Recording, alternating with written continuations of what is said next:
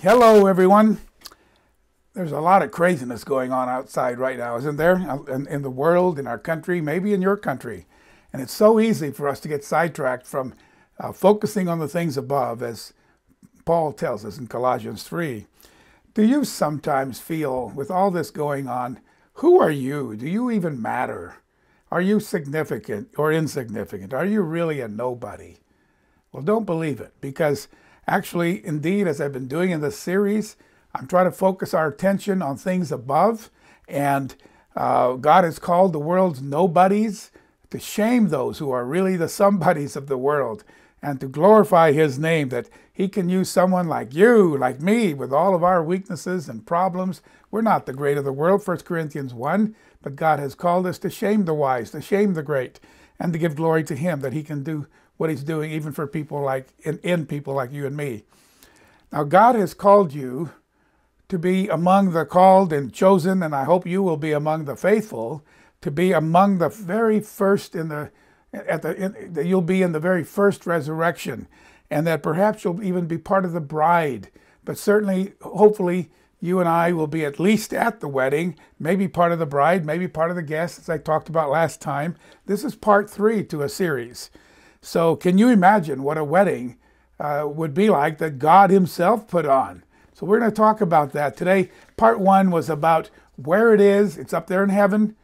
Uh, part two, and I showed you that very clearly, I hope. Part two is who's going to be there, in what capacity, at least some speculation, if not downright verses on it, but some, some speculation perhaps. And then part three today is about when all of this takes place. So, welcome everyone. Welcome all of you from around the world. I'm glad you're here at our free website, lightontherock.org. I'm Philip Shields. I'm your host and the founder of Light on the Rock. So let's get started. 1 Corinthians 2, verse 9 says, Eye has not seen, nor ear heard, nor entered into the heart of man what God has prepared for those who love him. So we have to love him for us to be among those who are there. then verse 10 says, But God has begun to reveal it to us, at least by his Holy Spirit. Satan's trying to distract you with all this craziness, trying to get you polarized, trying to get me polarized, right versus left, liberal versus conservative, and all of that, even racially divided. It should not be. It should not be. Let's keep our minds on the things God has called us to. And you know what? You're not at all insignificant to Yeshua. Uh, he is looking at you and he's excited about what, what's happening in, inside of you. He's working inside of you. He's going to finish. Philippians 1 6 and 11 says he's going to finish what he started in you and uh, the, will be covered by the righteousness of Christ. Uh, his works, his righteousness will be what God sees. Philippians 1 11. So if you're part of the bride, God the Son, the Son of God, actually sees you, calls you, thinks of you as his beloved, as his beloved, just as you think of him, I hope, as your beloved master, your beloved king, your beloved savior. So even as we call him that, he knows you. He knows everything about you. He knows everything about me. He's really getting excited about this wedding coming up. I'm sure he is. So the last trumpet will sound, and I believe the Bible calls it the seventh trump the Bible nowhere talks about the eighth trump or the ninth trump, so the seventh trump seems to be the seventh trump of the seventh seal seems to be the last trump. And the dead in Christ, according to 1 Corinthians 15 45 to 53 and 1 Thessalonians 4, the dead in Christ will rise first. We covered that last time. And then those of us who remain, 1 Thessalonians 4, verse 16 and 17, those of us who remain shall be caught up with them in the clouds and so shall we ever be with the Lord. 1 Corinthians 15, verse 52 says, uh, if you read all the way from before that, even, it says that we're going to have a various levels of glory and we're going to be changed to spirit beings. We're going to be incorruptible. I covered the verses last time, we read them last time. So make sure, if you haven't heard parts one and two, that you please do that. Please listen to parts one and two. It will uh, help you understand this one a whole lot better, though I'll refer to things uh, but I won't be turning to as many scriptures that we've already covered. Maybe one or two, but not as many. we're going to have a lot more to cover today. Now, from this point onwards, I want to say this though. I haven't had an angel tell me a date or give me some special revelation, whispered in my ear, taken me on a long walk. Probably most of you haven't either. So when it comes time to prophetic announcements, I have my advice to all of us who speak ride loosely in the prophetic saddle. Ride loosely in the saddle. Unless something is dogmatically stated in Scripture, let's not be dogmatic where Scripture isn't. But for example, we know, to me, it's fairly clear to me that the wedding is going to be in heaven, put on by God the Father. There's just too many verses that tell us that. Now, who exactly the bride will be, we know that the church is being groomed to be the bride of Christ. Um, but there are also guests who are there. Uh, the king came in to see the wedding guests, Matthew 22. And uh, so the guests are there. The wedding hall is filled with guests and so on. So, who are the wedding guests? We have to ride a little loosely in the saddle here. because and, uh, and is everyone either a bride or a guest? Or are there some who are, for example, if I get married, sure, there's a special relationship with my wife. But if I'm the president of a country, I also have various secretaries, a secretary of state, secretary of defense. I have different people in different capacities, director of intelligence and security and so on. And perhaps in, in perhaps in the kingdom of God, there's the bride, but maybe some who aren't even necessarily part of the bride will have very, very high offices and positions. I'm just saying don't get yourself locked in to thinking it's got to be this way or got to be that way, because I heard a sermon on that a few years ago. Unless God's spoken to you specifically, I hate to try to say what God is going to do. His thinking is so much beyond mine and yours. Anyway, I believe the bride, the guests, and perhaps others who are in heaven before the throne attending the wedding are all first fruits. Are all first fruits, redeemed from the earth, all of them. And they're all in the first resurrection. Or else, how could they be up there in heaven, right? How could the guests be up there in heaven if they're not in the first resurrection? They're all in shining bright garments. Even the great innumerable multitude, it says in Revelation 7, have washed their robes, their, their garments in the blood of Christ, and they're standing before him, and he will shepherd them and dwell among them. That sounds like they're part of his flock. Okay, so the great multitude from all nations and tribes and languages and everything are all there too. So, um, so anyway, not everyone though is going to be in, uh, not everyone in the wedding is part of the bride. Every wedding I've been to, the bride and groom are always the minority. They're not the majority, that's for sure. So anyway, let's read that again. Revelation 20 verse 6 and also Revelation 19 before we go to there. Revelation 19 verse I think it's verse 8 or 9. It says, Blessed are those invited or called to the wedding. And then the next chapter, blessed and holy is he who has part in the first resurrection. The first resurrection. Hebrews 11 calls it the better resurrection. We'll read that in a minute. Over such, back in Revelation 20, verse 6, over such the second death has no power, but they shall be priests of God and of Christ, and shall reign with him a thousand years. Hebrews 11, verse 35. Remember in the first resurrection, why is it better? Because it's first, first of all, and, and that gives us a head start of a thousand years, or at least a lot of years. The rest of the dead, you know, uh, there's some controversy anyway, but but the rest of the dead happen long after we're resurrected. And so Hebrews 11, verse 35 women received their dead raised to life again. Others were tortured, not accepting deliverance that they might obtain a better resurrection. So it's better because uh, it said what we read in Revelation 20 we'll be priests of God. Uh, I think it's 1 Peter 2, verse 9. We shall be a royal priesthood. And uh, it's better for a lot of reasons. Some of us will be part of the bride of Christ. I think that makes it better too. Uh, those who are part of the bride of Christ, or those who are part of the wedding. In Hebrews 11, verse 39 to 40, and all of these, having obtained a good testimony through their faith, did not receive the promise. Not yet. Did not receive it. God having provided something better, there's that word again, for us. That those who died ahead of before us, that they should not be made perfect apart from us. So part of what makes it a better resurrection is we're changed to spirit, we're changed to immortal, we're also made perfect, finally made perfect at that point. Anyway, so that's a, that's all exactly what uh, 1 Thessalonians 4 says again that we're raised first with the I mean the dead are raised first and then we meet them in the air. And then what happens? And then what happens? Remember, there are sequences given to us in the book of Revelation.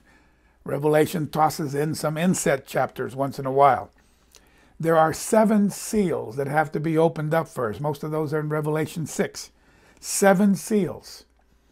And in the seven seals, seal number five is the Great Tribulation, seal number six are the cosmic signs and incredible things in the sky and in, in the um, what we see in the sky.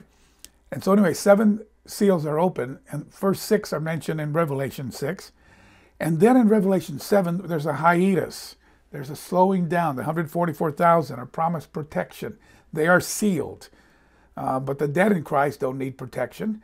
So it's not those who have died in the Lord who are part of the 144,000. Those are those who've come through the Great Tribulation alive. They have, they have uh, come through alive, the, the, the signs, the heavenly signs. And God says, okay, enough. I want them protected. I want them sealed, and so on. That's all in Revelation 7. And then the seventh seal starts in Revelation 8. A seal, like opening the seals of a scroll, okay? And the seventh seal has seven trumpet plagues and events. Revelation 8 and 9, if you want to take the time to read through those. And then the seventh trumpet, the last trumpet, is composed of seven last bowl, B O W L, plagues. And that starts in Revelation 11, verses 15 to 19, talking about the seventh trumpet sounding. And then the seven bowl plagues are listed in Revelation 15 and 16. So just before Christ returns to collect his bride, something else is going on. Of course, the Great Tribulation has been going on. But during that great tribulation, there are two witnesses, whoever they will be or whatever they will be. I am not going to speculate. Many are speculating. I will not. They have not yet been revealed to us. They preached for three and a half years, overlapping much of that time of the Great Tribulation. God allows them to be martyred. Let's read it. Revelation 11, verses 3 to 13. I'll read the highlights as we post it up here. Revelation 11, verse 3 I will give power to my two witnesses, and they will prophesy 1,260 days clothed in sackcloth. So for three and a half years, or 42 months, they're there in Jerusalem preaching. Verse 4, they're the two olive trees that are mentioned in the Old Testament. Verse 5, if anyone wants to harm them, they're, they're, they die. Okay? Uh, they die, they die by fire coming out of the mouth of these two witnesses, it says. Verse 6, I'm, I'm rushing because I have a lot to cover today. They have power to shut heaven. So there's drought. Uh, they have power to turn waters into blood, verse 6, and uh, to uh, cause as many plagues as they wish. Verse 7 When they finish their testimony, the beast that ascends out of the bottomless pit, this is that political, economic, military system that will rule much of the world, ascends out of the bottomless pit and will make war against them, and overcome them, and kill them. So they die. Their dead bodies lie in the streets where our Lord was crucified. It's called Sodom and Gomorrah, Sodom and Egypt. Clearly, that's Jerusalem where it says, where our Lord was crucified. And then those from the peoples, the tribes, the tongues, and nations.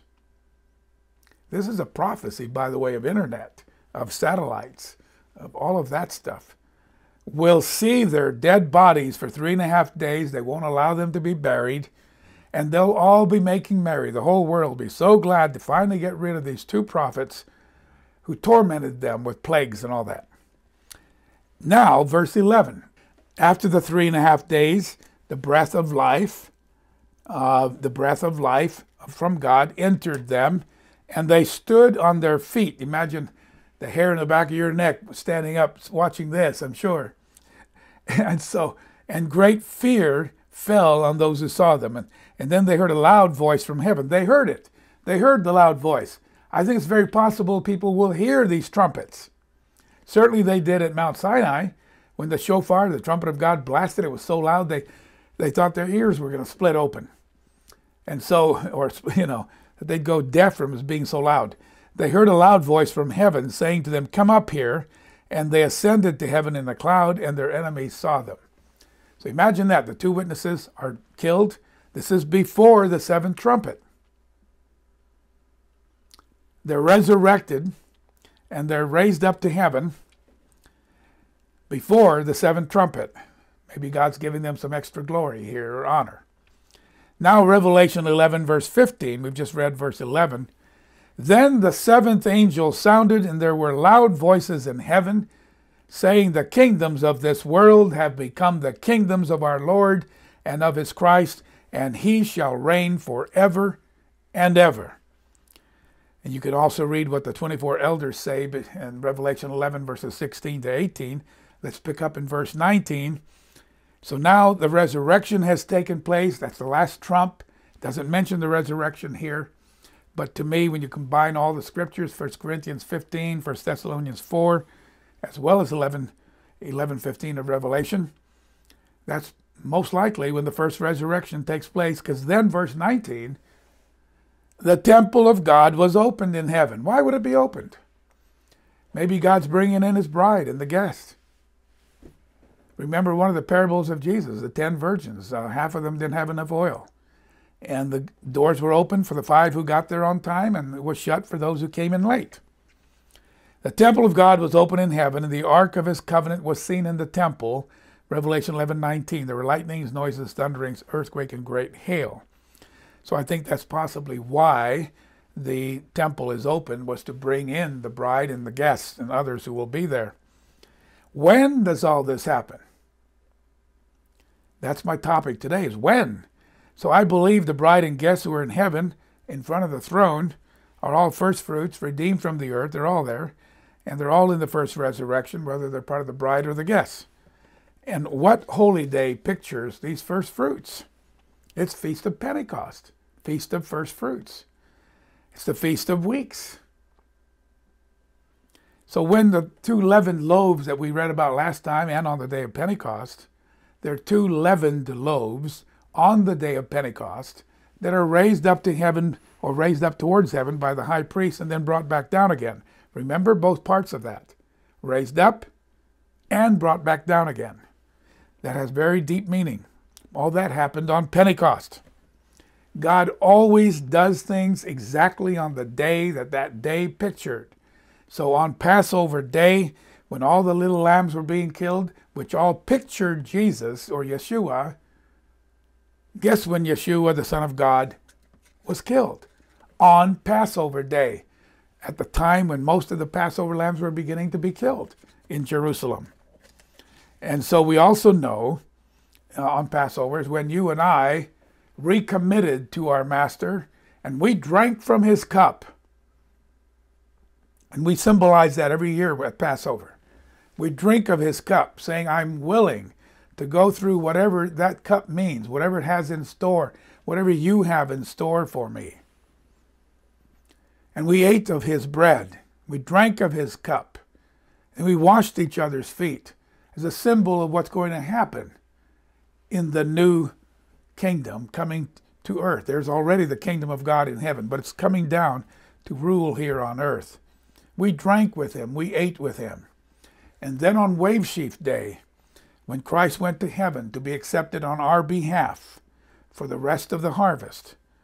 What a, you know, that was the barley harvest. What a glorious reunion that must have been for the Father and Son, God the Father and God the Son, to be together again with billions of angels, hundreds of millions at least, cheering and praising and worshiping, singing and what a grand time it must have been. What an emotional time it must have been. But that happened exactly on Wave Sheaf Day as they were raising the, the flour of the barley up, the omer of barley. And then on Pentecost Day, they had these two big loaves. They were big loaves, by the way, of leavened bread that were raised up. It was also on Pentecost Day when God married Israel at Mount Sinai. Was on Pentecost Day when Mount Sinai was all ablaze with the glory of God. And Moses was called to come up to the top of that mountain. And I feel this is picturing the time when the wedding will take place, the, fe- the feast of first fruits, the two leavened first fruits loaves, and all of the things we talked about in part two and even part one. So it pictures the church ascending to heaven for the wedding, pictured by the two leavened loaves. So, yes, I believe in a coming year on Pentecost, I believe the wedding will take place in heaven, and I don't know the year. And shame on you guys who are out there putting years and dates, and you're always failing so far. Uh, I get notices of this from time to time. Don't do it unless an angel truly has revealed, appeared before you and told you. Neither do I know the day, the year, nor the hour. I don't even know the year yet. We're all tempted to say it can happen any time now. There's still many things that have to happen. Maybe I'll give a sermon on what Scripture does say has to happen before Christ will be back here. So whether God comes for us earlier than Pentecost or right on Pentecost, it's up to Him. But I'm confident the wedding itself will be on Pentecost up there in heaven. Pentecost is all about the first fruits, remember, of wheat, those being called now. James 1:18 says, "Of his own will he brought us forth by the word of truth, that we might be a kind of first fruits of his creatures." Also Romans 8:23, we have the first fruits of the Holy Spirit. The fall holy days, on the other hand, are all about God going out to save the rest of mankind the rest of humanity. So, so that's Revelation 11, verse 15 and 19, the seven trumpet sounds. And then we have Revelation 12 and 13, our inset chapters about other things. We come back to Revelation 14 and we see the 144,000 mentioned in Revelation 7 on the earth being protected. Now we see them up in heaven on the sea of glass. We see them called first fruits. We see them following the Lamb wherever he goes. Many have assumed that's the bride. It might be. Hallelujah. Praise God if it is. If they are. And if they are, if the 144,000 is the bride, then I'd sure like to be part of it. It nowhere is called the bride. I think we're all assuming that because they follow the lamb wherever he goes, that that must be the bride. But I believe they're more like special attendants to the Son of God, the 144,000 of Revelation 14. I believe the bride of Christ is pictured by the Proverbs 31 wife. It's called in our English Bibles the virtuous woman. It actually means women of valor, woman of courage, woman of strength. The Bible speaks a lot of a lot of powerful men, and the Hebrew word's the same, uh, men of valor. Okay, but when the translators wanted to talk about this bride, they didn't want to talk about a a woman of valor, strong and powerful. They wanted to talk about a virtuous wife. So they changed the word to virtuous. It means valor. Check it out. But anyway, this woman of valor is hardly following her husband everywhere he goes. Go back and check it out. Read Proverbs 31, verses 11 to 31. This woman of valor is very talented, very capable. and God trusts her. Her husband trusts her. What's she doing? It says she's going to the merchant ships, buying food for the family. She goes out to check out the land and buys some land, eventually plant a vineyard there. She's making clothing for children. She's helping out the poor and the needy. She's considered wise woman. She's busy. She's strong. She's staying up late at night. She's helping the poor. And she's considered highly by everybody in the community. You see what I'm saying? That more describes, I think, the bride of Christ. And some will say that 144,000 is the total number of the bride, is the total number of the first resurrection. I personally don't see it. I personally don't buy that. I think uh, certainly the great multitude you couldn't even number in Revelation 7, they're certainly in the first resurrection because they're pictured in front of the throne of God. God is said to be their shepherd. The Lord is their shepherd, and he will dwell among them. I mean, that, those people surely are in the first resurrection as well. You see what I'm saying? Um, and the 144,000 certainly are. So these people are shown as having washed their robes in the, the great multitude in the blood. They're serving Christ day and night. So Christ comes after the great tribulation. Let's read that Matthew 24, verses 29 to 31. All of you who've been waiting, I've had three people tell me this this week alone. Surely the rapture is going to come soon. Folks, God will protect his flock whom he wants to protect, and God will let some of his flock, many of his flock, be honest with you, be beheaded, be tortured, be tested and tried. Many of them will be part of the Laodicean attitude. I wish that you will buy for me gold tried in the fire. Repent, and I will come and eat. You'll come and eat with me, and I with you. You know, Revelation 3, the end of it. But Matthew 24, the seventh seal has seven trumpets. So the last trumpet seems to be the last trumpet. Let's read it. Matthew 24, 39, 29 to 31. Matthew 24, 29 to 31.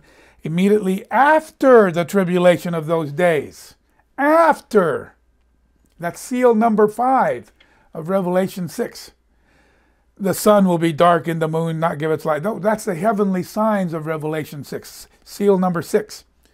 Verse 30 Then the sign of Son of Man will appear in heaven, and then all the tribes of the earth will mourn, and they will see the Son of Man coming not on white chargers, but on the clouds of heaven with power and glory. And he will send his angels with a great sound of a trumpet. I'm sure we will all hear it. I'm pretty sure of that. They will gather together his elect from the four winds, from one end of heaven to the other, from all directions. After the great tribulation, after the heavenly signs, Christ returns, collects his bride, the elect. The word elect there from the Greek is eklektos. It means picked out by God, picked out, chosen.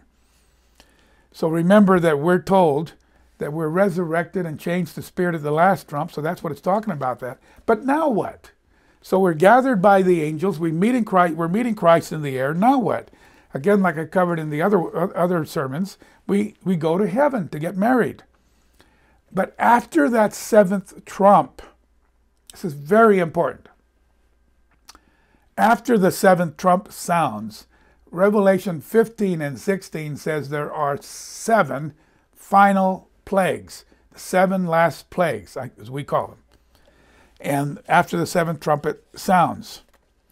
And so, um, so we're in heaven and not on earth, getting married, while the final seven plagues are being unleashed on the earth. And that all will take time. So, when do we rise and go to heaven to meet our Father? At the seventh trump. And where is He? He's in heavenly Jerusalem. Our Father in heaven, hallowed be thy name. That should get our minds off the craziness going on right now. We should, we should be really, really excited about this. Then the Pentecost harvest, remember, it's called the Feast of First Fruits. And that's when Israel married God. So when will all this happen? I am satisfied. If I'm proven wrong, or God says I'm wrong, fine, but I'm satisfied that it does not make sense for the first fruits to be resurrected and marrying sometime in the fall, which pictures God working with the rest of humanity. Our, our time is the Feast of First Fruits. That's our feast. That's our focus. That's the time of the first fruits. Everything has its time and season, Ecclesiastes 3 says. So let's ask when the wedding will take place. What season is that? Again, if you go back to, Revelation, uh, to Leviticus 23, Leviticus 23, talking about the seven holy days of God, the divine appointments, in verses 15 to 17, we're to count 50 from the day after the seventh Sabbath, not just seventh, you know, it's seventh Sabbath. The day after means a Sunday, in the day we, days we call uh, that and, and there shall be a grain offering. Leviticus 23, verse 17 now. You shall bring from your dwelling two wave loaves of two tenths of an ephah. They will be fine flour. They'll be baked with leaven. They're the first fruits to Jehovah. Yeah, we are not sinless. We have had sin in our lives. So we are those leavened loaves. There are two of them because one pictures those who have died in Christ. That's, I believe, I'm convinced that's the, the way it is now. And then the second uh, wave loaf, I heard this from one minister in Washington State, and I believe that this is true. And the other wave loaf is for those who those of us who are alive and remain shall be caught up with them. So two leavened loaves of wheat are raised up by the priest and lowered back on Pentecost. So when is all this going to happen? I believe on Pentecost. That's what it all pictures. That's about the time Ruth and Boaz would have got married. That's the time when God married Israel. And that's, you know, it, just it just makes sense. But what about the Feast of Trumpets, you might say? What about that? Surely the Feast of Trumpets bears in this. Well, remember, we think of Feast of Trumpets, we think of the last trumpet. Therefore, Christ must surely come. The seventh trumpet surely must be the Feast of Trumpets. But go back to Numbers 10, verse 10. Let's post that. Numbers 10, verse 10.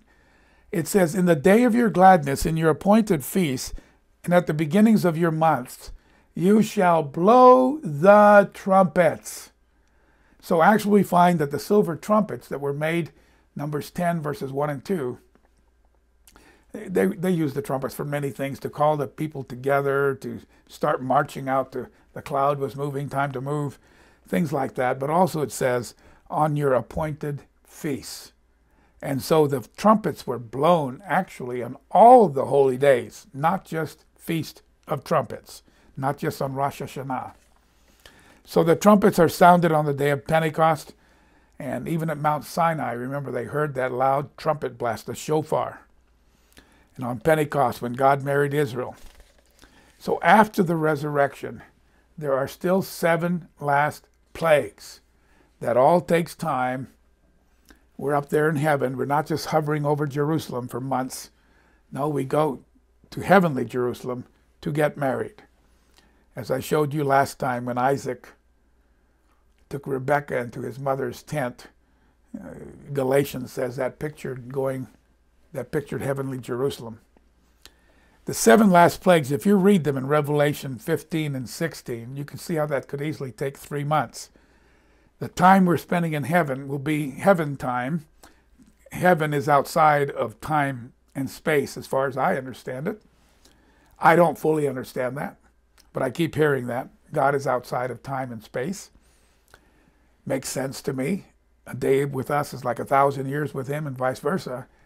So, three months here on earth could seem like a really forever kind of time up there with God, taking our time more or less, introducing God, introducing us to our teammates who we're going to work with, showing us the house He's made for us, for you to live in, showing you your responsibilities, showing you your way around around this town. This town. heavenly Jerusalem, if it were on the earth right now, would cover one half of the United States. One half. 1,500 miles. You know, long and wide, 1,500 miles high. Hey, our mountains are seven, I think about six and a half, seven miles high. I mean, so this is really, really, really a high, high city. Big city. Revelation 16, verses 12 to 16. There talks about the sixth angel. Let's put it on the board while I'm just talking about it. You read it yourself. A sixth angel poured out his bowl on the great river Euphrates. Waters dried up, making way for the kings of the east to, that they might be prepared to walk on through. Okay. And then uh, three unclean spirits like frogs. I'm convinced that angels, good and bad angels, look like things we, for the most part, look like things that we identify with horses, eagles, frogs, and so on. Um, in this case, it's demons, unclean spirits, coming out of the mouth of the dragon, the beast, and the false prophet. These are spirits of demons, verse 14, performing signs which go out to the kings of the earth. So they're these these uh, false prophets and beast power. They have power, supernatural power, demonic power, to do miracles that you know couldn't be just human uh, human ability. Remember this someday. It might be in our lifetime. Might be in, the, in within a decade. Who knows? We might be watching some of this. We need to be aware of it. So anyway, um, these demons go out. We're actually up in heaven at this point at the wedding, but I'm saying that anyone left on earth should hopefully know that these are not uh, just tricks. They're de- demonically inspired. To gather them, the end of verse 14, to gather them to the battle of that great day of God Almighty. And behold, I'm coming as a thief. Watch your clothing, so you don't walk naked. Verse 16, they're going to gather them to that place called in Hebrew Armageddon. Har Megiddo. I've been to Megiddo. It's a big, big, wide valley up in the north of Israel. They gathered them there for Armageddon. So the first time Christ returns, we read it already, he comes in the clouds, he collects his bride, he goes back to heaven. He's seen by the whole world. So now the world knows there's an invasion from outer space. The ones who know their Bible will know that probably was Jesus Christ. But the rest of the world, much of the world, is demonically inspired and they are children of, of, of Satan. The Bible said that. Jesus said that. Uh, you are not of my, my father is not your father. You're of your father, the devil, John 8. John 8 says that, around verse 44. It's not in my notes, so you can find it in John 8. And then after the wedding, Christ and his armies, including his bride, return on spirit white chargers, probably angelic beings, to face the world's armies along with the hosts of God. He's the Lord of hosts, millions of angels, and also his bride. Some are out there teaching that God's returning to fight the armies only with the angels, not with the church. That's simply not true. Revelation 17 14 says, it's posted up there, Revelation 17 14, these will make war with the Lamb, the Lamb will overcome them, for he is Lord of lords and King of kings, and those with him are called, that's us, chosen, and faithful. Those with him. And the context is coming to fight the assembled armies. And those with him, Matthew 25, 31, includes obviously the angels. It says so, Matthew 25, 31. But Revelation 17, 14 says, besides the angels, this time he's returning with his bride on white spirit steeds, coming to fight and put down this rebellion against him. So that second return, the first return, he comes in the clouds, gathers his elect, goes back up to heaven, get married, and after it's time to come back, they, we all get on white superchargers, uh, angelic beings, and we come back with him to face the armies at the Mount of Olives and beyond, as Zechariah 14 says. So anyway, the fall holy days, remember, are all about the uh, about God saving the rest of the world. It's not really about us. And Matthew 22 says a certain king uh, a certain king decided to put on a wedding for his son, we know that king has to be God. And it says the kingdom of heaven, Matthew 22, verse 2, is like a certain king who arranged a wedding for his son. The son has to be Christ.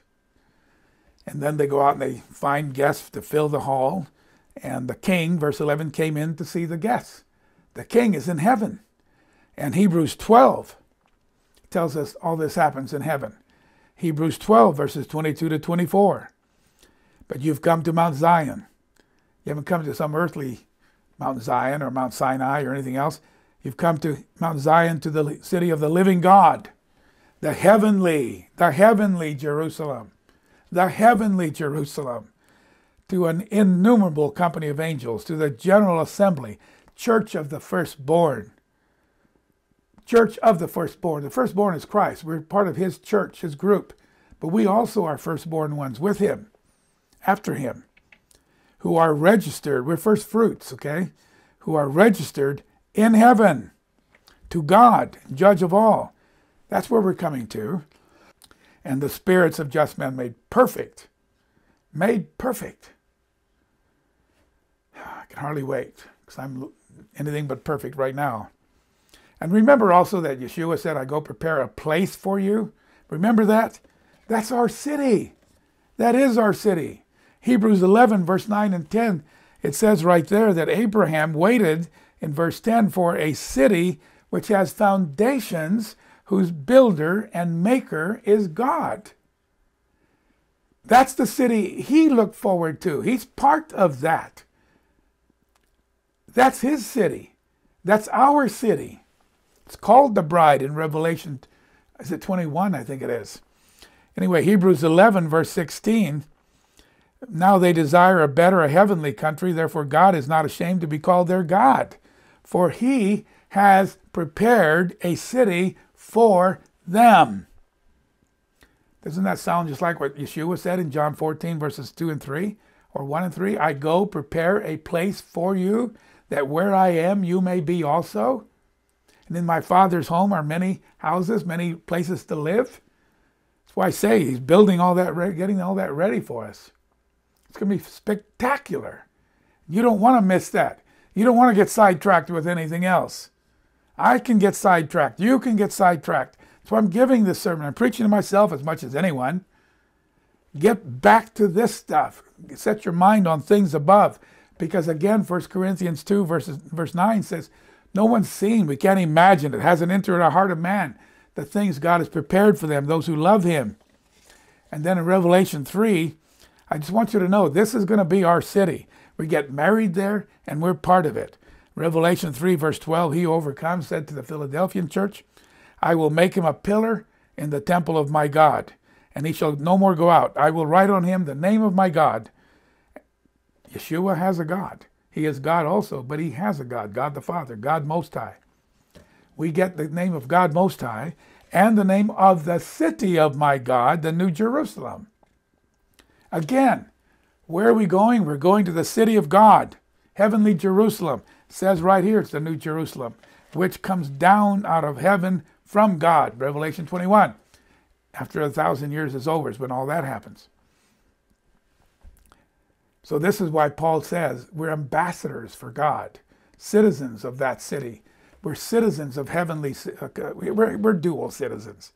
Paul talked openly about himself being a Roman citizen, but he also says, my citizenship is in heaven. And uh, we are ambassadors, therefore, because we're from that city, from that country. But remember again, when Isaac had Rebekah brought to him, and he was at his father's house, his father, Abraham was, he loved Rebekah, it says, and I think it's Genesis 24, and he took her into his mother Sarah's tent. Genesis 24, I think it's the very last verse, around verse 67. Galatians 4, which I think I read last time, says very clearly that Sarah pictures, let's post that up there, Galatians 4, verses 23 to 27. And notice that Sarah pictures the new covenant from Jerusalem above, the end of what's posted up there. And so when he took Rebekah into his mother's tent, that was prophesying and revealing to us that Christ, who was, who was pictured by Isaac, will take his bride, which is the church, into his mother's tent, which is Jerusalem above all of those things and all the other verses I've shown you. Jerusalem above, therefore, becomes the mother of us all. We're considered born in heavenly Jerusalem. Psalm 87, verses 4 to 6. Some say the church is the mother of us all. It's actually the heavenly Jerusalem. Uh, in fact, we, we let's put that back on the board. Galatians 4, verse 26 here. But Jerusalem above is free, which is the mother of us all. Jerusalem above is our mother and mothers give birth. And when we are changed to spirit, our city, our birthright becomes the new Jerusalem. Psalm 87, verses 4 to 6. I'll make mention of Rahab and Babylon to those who know me. Behold, O Philistia and Tyre with Ethiopia, this one was born there. Okay, that one's born in Ethiopia, that one's born this. And of Zion it will be said, Psalm 87, 5, this one and that one were born in her, and the Most High Himself shall establish her. Jehovah, the Lord, will record when He registers His people. Remember, it says in Hebrews 11 that those who are registered in heaven, the elect are registered in heaven. When He registers the people, this one was born there. There, what? In Mount Zion, heavenly Mount Zion. So that's our city. So, anyway, upon arriving at the groom's house, the bride, the groom, will go into a huppah, and uh, the bridal chamber where they will consummate their marriage, and festivities could last seven days or more. And there could be no finer wedding that I can imagine, envision, than the wedding of Jesus Christ.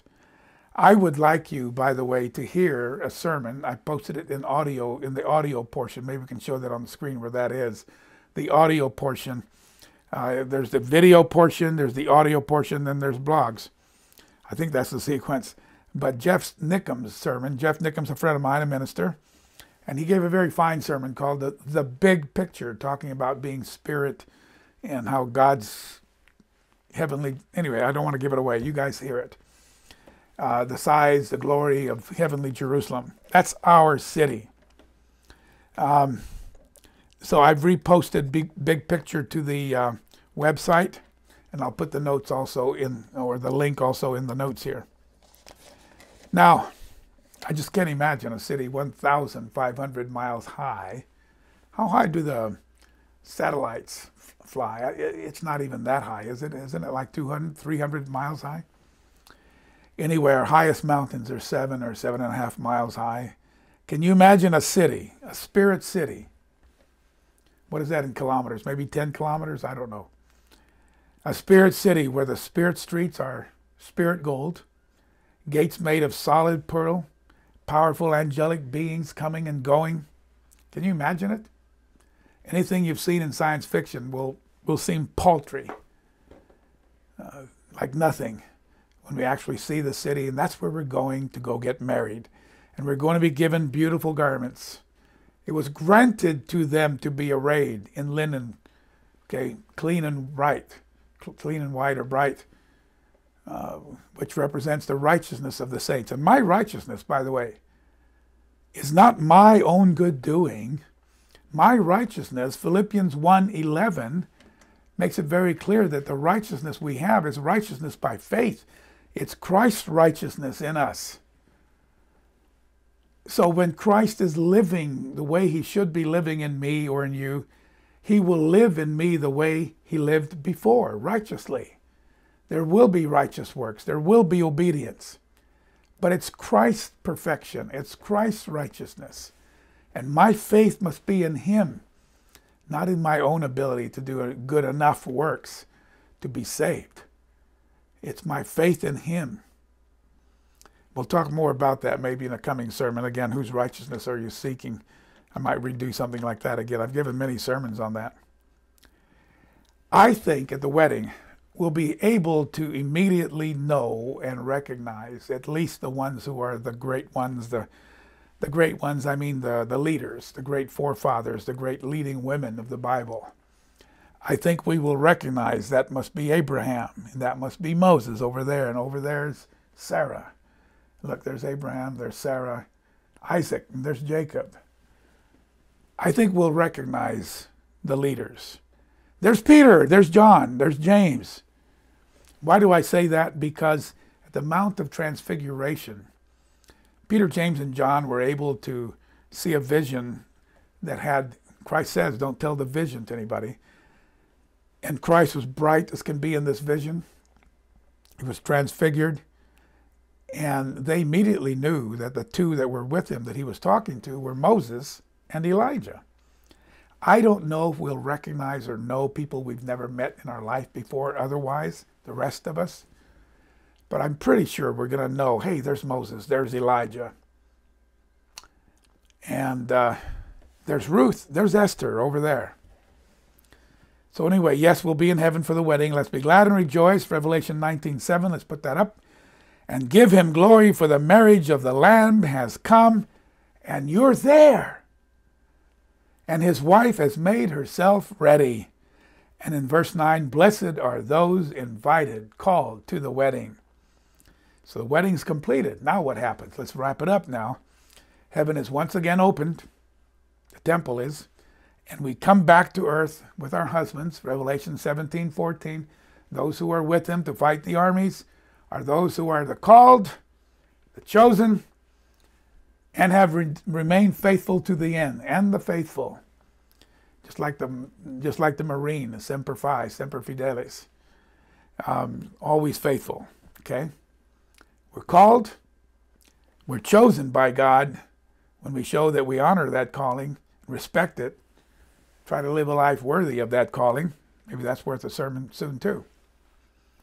So anyway, the wedding, the heavens opened again. Uh, Revelation 19, verses 11 to 14. I saw heaven open, behold, a white horse, and he who sat on him was called faithful and true. In righteousness he judges and makes war. His eyes were like a flame of fire. His head were on his head were many crowns, symbolizing that he's going to be King of Kings. He had a name written on him no one knew except himself. And he was clothed with a robe dipped in blood, and his name is called the Word of God. In the beginning was the Word, the Word was with God, and the Word was God. John 1 1 and 2. And then verse 14, and the Word became flesh and dwelt among us, tabernacled among us. John 1 14. This is Yeshua coming back. This is not God the Father yet. This is Jesus Christ, Yeshua. And the armies in heaven, that's the angels. But Revelation 17 14 indicates we also will be with him. As I said, clothed in fine linen, white and clean, followed him on white horses. Now, who are the armies who accompany him? No doubt. It's the, the angels, Matthew 25, 31, who comes with a host of angels, Matthew 25, 31, and the bride, Revelation 17, 14.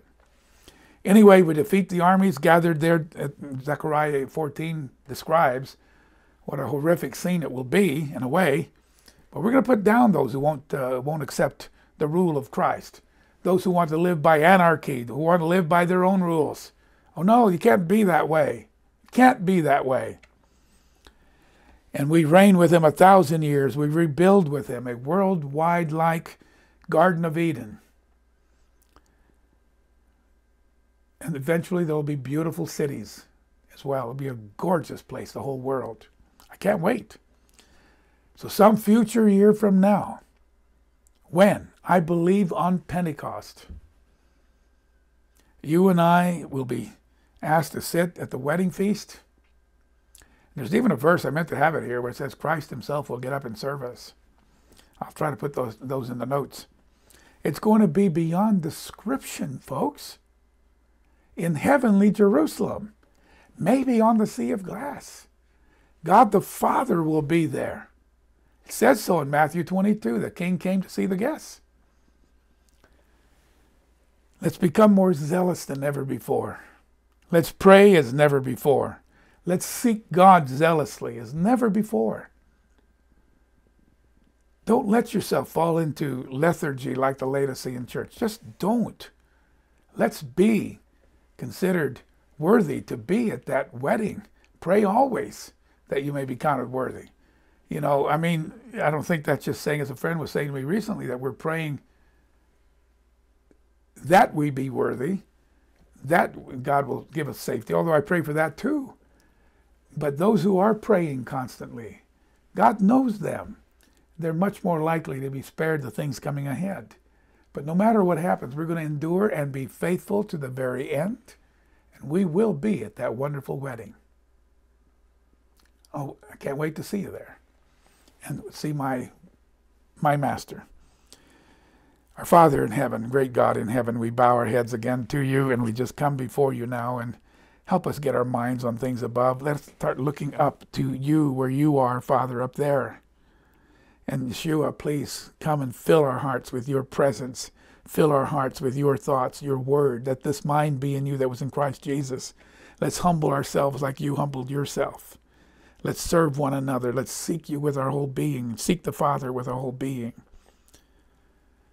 Fill us with your Holy Spirit. Don't let us get down about what's happening around us here on earth. We know these things are foretold. You've got it under control.